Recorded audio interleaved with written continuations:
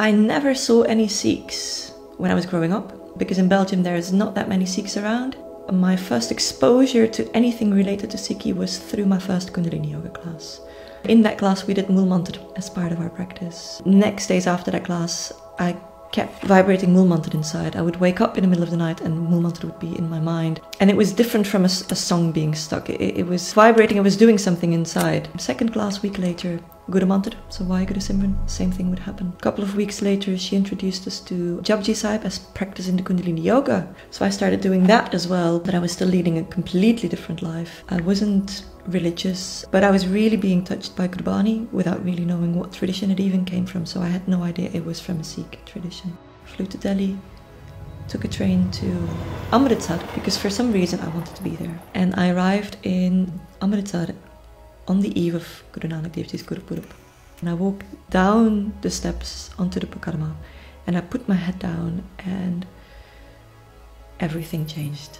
I don't know how long I was with my head down. I was heavily crying when I lifted my head, and it, it felt that that my skin stopped existing. I sort of merged into something. I, I don't know how to describe it. And I felt very lost with it because I didn't know where I was. And I was there with a friend, and as I lifted my head up and they saw what was happening, the friend said, like, You've come home, this is where you belong.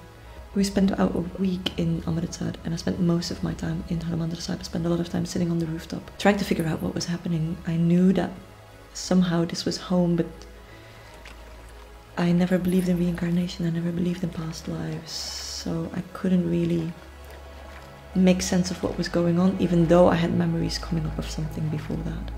When everybody started doing Rehras Sahib, I felt very much that that was something I knew. And as we walked out in the evening in the shopping street, an old Sikh uncle came up to me, started talking in Punjabi. I had no idea what he was saying. He calls his son, and they gave me a kara and said it's written on your forehead, you're a Sikh of the Guru. And he called me into his shop, gave me every single English book on Sikhi that he had, made me pay for it, didn't give them. And that was the rest of my trip through India. We were there for a month and I just read all I could. Flew back home and about two months later I started wearing a dastar. Looked for Sangat around me in Belgium. There was a good Sahib and a friend of mine said, come to England with me to go to a Sikh retreat.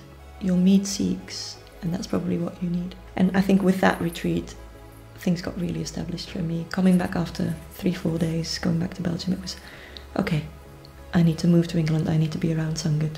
I need to start giving up my life in Belgium and, and just really put Sikhi first.